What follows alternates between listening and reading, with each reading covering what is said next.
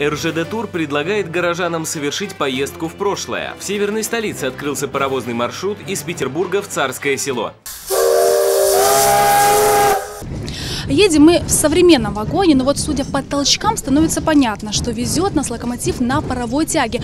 Интересно, что первую в России железную дорогу открывал сам Николай I. Впоследствии император вместе со своей семьей не единожды ездил по этой дороге в свою резиденцию в Царское село и обратно в столицу. Владимир, вот зачем открывается этот путь, скажите?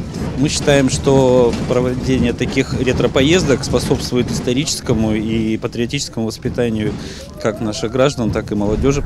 Мы прибываем на станцию 21 километр. Это конечная точка маршрута, но не экскурсии. Здесь находится Малая Октябрьская железная дорога. Известна она тем, что дети учатся быть машинистами, проводниками и стрелочниками.